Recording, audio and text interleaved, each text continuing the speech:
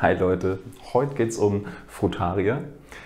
Ob es möglich ist, sich nur von Früchten zu ernähren und was ich für Erfahrungen damit gemacht habe.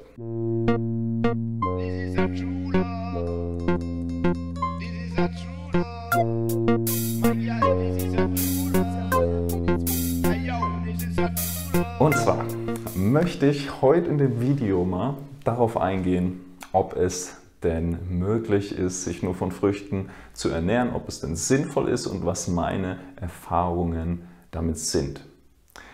Weil mir ging es auch vor einigen Jahren so, als ich zum Beispiel in die Rohkost vor fünf Jahren komplett reingestartet bin, da war ich recht dogmatisch, sag ich mal, und habe mir gedacht, hey, eigentlich Früchte müssten so das Beste und Sinnvollste sein. Hatte da viel gelesen, viel angeschaut und war dann auch viel in den Tropenteils unterwegs und in sonnigeren Gefilden und habe teils ähm, ja, über ein Jahr hinweg, sag ich mal, zu, also wirklich fast nur Früchte gegessen. So, es kommt jetzt auch darauf an, wie man das Ganze definiert. Das vielleicht auch noch vorweg. Ähm, Frutarier, ja, manche essen wirklich komplett nur Früchte, die vom Baum fallen, alles was der Baum so gibt. Oder ob man eben auch noch Nüsse, Samen, Saaten isst. Und dann ist das Ganze schon ein bisschen besser möglich, um auch darauf einzugehen. Also meine Erfahrung war natürlich, wenn du viel Früchte isst, ähm, Verdauung geht gut durch. Es ist einfach das schnellst verdaulichste überhaupt, Früchte. Aber ein Riesenpunkt ist, und was ich immer wieder gesehen habe, wenn man mal beobachtet, Menschen, die das wirklich über längere Zeit machen, über Jahre, man leidet damit Schiffbruch, vor allem, also das sind einfach nur meine Beobachtungen. Ich habe es wie gesagt selber so ein Jahr gemacht habe da aber auch viel mehr Kokosfleisch und Fett gegessen. Da kann man die vielen Früchte, viel Zucker und so weiter noch ganz gut ausgleichen. Komme ich gleich noch mal ein bisschen genauer drauf. Aber normalerweise, ich habe jetzt persönlich niemanden kennengelernt, der das wirklich über Jahrzehnte macht und äh, der dabei gesund, gut, fit, leistungsfähig ist. Und ja, wo ich gemerkt habe, okay, das ist sinnvoll so. Die meisten Leute, die ich beobachtet habe, haben das mal für ein, zwei Jahre gemacht. Ich habe es ja, so ein Jahr fast gemacht, sage ich mal, ähm, damals und habe einfach gemerkt, okay, äh, das funktioniert überhaupt nicht, haut nicht hin, nur Früchte zu essen. Der Körper kommt komplett aus dem Gleichgewicht und also ich würde definitiv äh, davon abraten, gerade in unserer äh, heutigen Gesellschaft. Ob es möglich ist, keine Ahnung. Ob es sinnvoll ist, weiß ich nicht mit passenden Lebensmitteln. Aber der Punkt, den ich festgestellt habe, gerade wenn man, und das ist allgemein ein Problem, oft wenn viele in die Rohkost reinspringen, mir ging es zum Beispiel auch am Anfang so, man denkt, okay, Früchte entgiften super, ja, und ist eigentlich das Beste, bestverdaulichste. Man fühlt sich am leichtesten natürlich, weil es ja auch am schnellsten durchgeht. Aber man kommt halt aus diesem Gleichgewicht raus, weil die Früchte heutzutage so stark überzüchtet sind. Sie sind nicht mehr im Gleichgewicht, so, sie sind viel zu sehr auf Zucker überzüchtet und die Mengen sind halt auch das riesige Problem. Oft werden viel zu viel, viel zu große Mengen an Früchten gegessen. Und am Anfang macht man das sowieso, weil es geht viel zu schnell durch die Verdauung, man ist nie richtig gesättigt. Ähm, wenn man nur zu viel Früchte isst, das kennen vielleicht viele, dann hat man dieses Graten schon auch schon nach dem Essen eben. Und das ist wirklich ein Anzeichen, dass sowas überzüchtet ist. Wenn du dich nach dem Essen nervös, unruhig, zittrig fühlst, nicht ausgeglichen und zufrieden dann ist es ein Anzeichen, dass die Früchte halt besonders ja, stark überzüchtet sind. Und wenn man das halt über einen längeren Zeitraum macht, so über kürzere Zeitraum, gerade wenn man auch mal eine ja, Entgiftung, Entschlackungskur macht, ähm, wenn man fastet und so weiter oder halt einfach mal eine Zeit lang nur Früchte isst, ist das in Ordnung. Aber ich kenne wirklich keinen persönlich, der das irgendwie über einen längeren Zeitraum in Europa irgendwie gemacht hat. Und wenn man sich dann mal anschaut, Leute, die das wirklich über Jahrzehnte gemacht haben, das sind halt zwei Faktoren vor allem da, meistens. Und ein Beispiel, das mir da einfällt, ist eben Lauren Lockman. Er hatte eines der größten Fastencenter der Welt oder das größte Fastencenter der Welt in Costa Rica.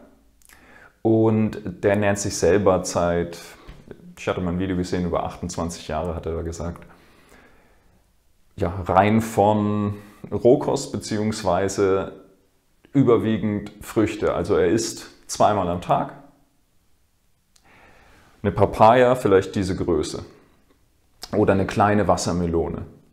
Und so einmal in der Woche, hat er gemeint, isst er vielleicht mal eine Avocado oder Kopfsalat, irgendwie sowas. Einen leichten Blattsalat. So einmal in der Woche. Und das ist halt auch genau der Punkt. Erstens, er ist sehr wenig und ich kenne keinen, der auf lange Sicht irgendwie gute Erfahrungen gemacht hat, wenn man wirklich exzessiv größere Mengen Früchten, Früchte am Tag isst.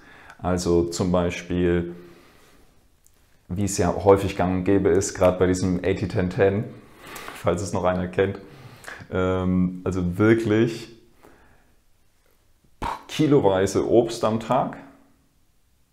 Nicht nur eine Wassermelone und eine Papaya, eine kleinere, sondern eine Riesenwassermelone und davon zwei am Tag und dann noch, ähm, weiß ich nicht, zehn Mangos, zehn Bananen und so weiter. Ähm, kiloweise Datteln und sonst was. Und all diese Leute, und bei mir selber habe ich halt auch gemerkt, so, irgendwann ist der Körper einfach komplett im Ungleichgewicht und man ja, ist nicht mehr ausgeglichen, Energielevel geht runter, man hat dieses zittrige, nervöse, äh, Gewicht geht runter, also übermäßig runter dann auf Dauer, ähm, was ja nicht normal, nicht gesund, also ja, natürlich, die meisten Leute in unserer Gesellschaft haben zu viel Gewicht, aber das geht wirklich ähm, oft dann, also auf lange Sicht dann ähm, zu stark runter. Und ja, Energie geht dann eben auch runter. Anfänglich mag es einem vielleicht besser gehen, aber der Körper hat halt auch noch seine Puffer, seinen Speicher ähm, und kann das alles noch ausgleichen. Aber, und er ist halt gleichzeitig entlastet. Aber auf lange Sicht kenne ich halt, wie gesagt, keinen, nur Lauren Lockman eben zum Beispiel, von dem ich es eben gehört habe, länger verfolgt habe die letzten Jahre. Und bei ihm ist es halt, wie gesagt, so, er isst halt geringe Mengen und ich kenne keinen, der größere Mengen und dann eben nur Früchte am Tag über längere Zeit isst und sich damit noch ähm, gut, fit, gesund lebt, fühlt. Und ähm, gleichzeitig natürlich, er lebt halt auch in den Tropen. Ähm, er baut selber an. Eigene Früchte, so. Das ist der zweite Riesenpunkt, so. Wenig und eigene, eigen angebaute. So, es ist was ganz, ganz anderes. Und gerade bei den Supermarktfrüchten, und das machen halt viele, und auch die überzüchteten Früchte, die du so auf den Märkten in Chiang Mai, in Thailand, sonst wo in Asien bekommst, sind auch schon so stark überzüchtet. Und hier in den Supermärkten sowieso, da ist nicht mehr viel drin und es ist nicht mehr wirklich energetisch so. Und das ist halt der Riesenpunkt. Also ich kenne keinen, der das dann auf lange Sicht, wie gesagt, mit Supermarktfrüchten, mit ähm, gezüchteten Früchten und mit Riesenmengen täglich gemacht hat oder damit ja, Erfolg hatte und damit sich gut und wohl gefühlt hat. Wenn jemand überwiegend oder nur Früchte isst, wie zum Beispiel bei Lauren Lockman, dann waren es immer geringere Mengen über den Tag, auch wenn es zu 95% Früchte sind. Genau. Oder zu 100% und halt diese kleineren Mengen. Von Walter Schaube, das Buch, das hatte ich ja öfter mal erwähnt, habe ich auch in der Infobox unten drunter verlinkt. Könnt ihr auch mal schauen. Ähm, er beschreibt davon von Paradieskost. Ich habe selber noch nie erfahren über einen längeren Zeitraum. Ähm, er beschreibt halt, dass es für ihn so ging, dass er dann ähm, Bärenfrüchte isst und aber 500 Gramm auch nur am Tag. Also wirklich kleine Menge. Und dann war es für ihn möglich, zumindest was er beschreibt. Kann ich nicht sagen, ich kenne ihn nicht persönlich. Ähm, ich persönlich habe die Erfahrung noch nicht gemacht. Aber das ist halt so ein Riesenpunkt, was ich bei Früchten festgestellt habe. Wenn ihr damit Erfahrungen gemacht habt, dann schreibt gern mal unter das Video, würde mich brennend interessieren, was für Erfahrungen ihr damit gemacht habt, ob ihr jemanden kennt, der über Jahrzehnte damit gute Erfahrungen gemacht hat, ohne diese zwei Punkte zu beachten, mit den Mengen und ja, selber anzubauen, nicht stark überzüchtete Früchte zu essen. Ja, weil es ist doch was, wo ich gemerkt habe, wo vielen passiert, dass sie da reingeraten und dann so begeistert davon sind. Ich war davon anfangs auch sehr begeistert. Ähm, schmeckt gut. Und man fühlt sich halt erstmal besser, weil der Körper sehr entlastet ist mit der Verdauung und so weiter. Aber, wie gesagt, auf lange Sicht, weil sie einfach im Ungleichgewicht sind, ähm, ja, bekommt man halt Probleme damit. Wenn man dann nicht mit Fett, mit Grün, ausgleicht und so weiter. Ähm, und allgemein ist es halt wirklich immer individuell. Viele schauen sich da, wie gesagt, auch immer nur die Ernährung an. Also nicht da irgendwie einfach blind irgendwas ausprobieren, dabei kann man so viel falsch machen, sondern informier dich erstmal, schau dir hier auf dem Kanal zum Beispiel die anderen Videos noch an. Man kann so viel damit falsch machen, gerade wenn man so stark in eine Ernährungsumstellung reinspringt und dann auch oft denkt, okay, die Ernährung ist der einzige Punkt, aber es gibt viele Faktoren außer der Ernährung, die da reinspielen. Und es ist halt immer so individuell, an was für einem Punkt man da gerade ist.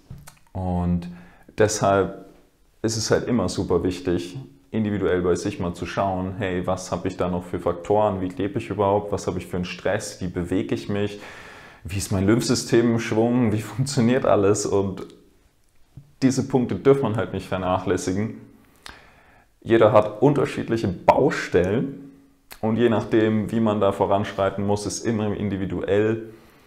Ja, bei dem einen ist mal eine Totalsperrung und die Straße muss mal kurz dicht gemacht werden. Wenn ansonsten alles gut läuft, kann man aber auch nur mal eine Spur sperren bei der Straße. Und so sind es halt wirklich individuelle Baustellen. Und das gibt es halt zu beachten. Also, wie gesagt, schreib gern unten drunter und das Video, was deine Erfahrungen damit sind. Gib gern einen Daumen nach oben, wenn dir das Video gefallen hat. Teil das Video abonniere den Kanal. Und ansonsten wünsche ich dir noch einen wunderschönen Tag heute. Und ja, eine gute Zeit.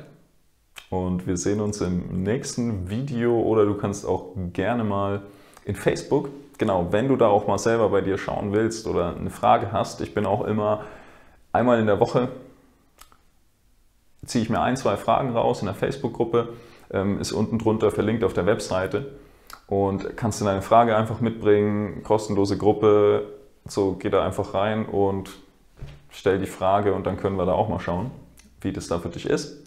Jo, ansonsten mach's gut, schönen Tag dir, ciao.